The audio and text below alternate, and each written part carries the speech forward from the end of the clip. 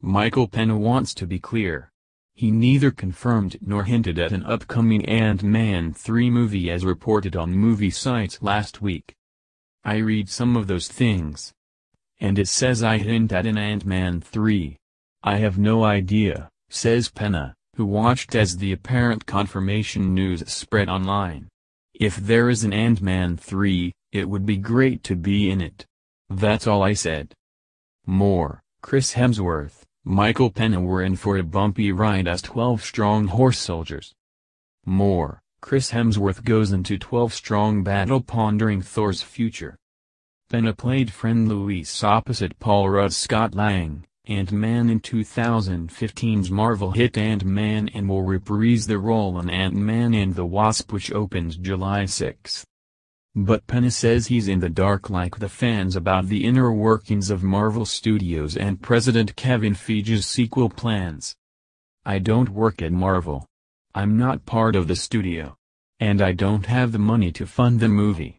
I wish I had $150 million around, you know, says Pena. It's like, one of the supporting, Ant-Man, characters would say, yup, there's going to be a third, movie.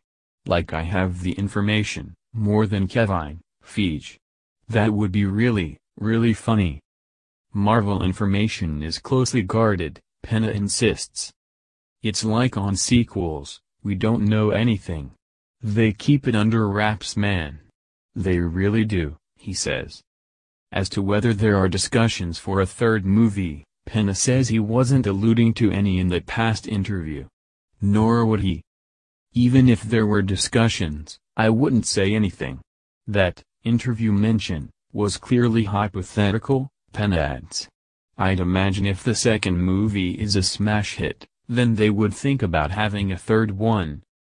Next up for Pena is a role in as a Green Beret in 12 Strong, opening Friday where he had to struggle on horseback. Twelve strong star and Thor actor Chris Hemsworth dubbed Pena the worst horse rider on set. And horse newbie copped to one wild ride where his horse bolted. You're in survival mode, trying not to fall off. Your life flashes before your eyes, Pena says. I was like, woo. But who knows? I might not have even been really going 10 miles per hour.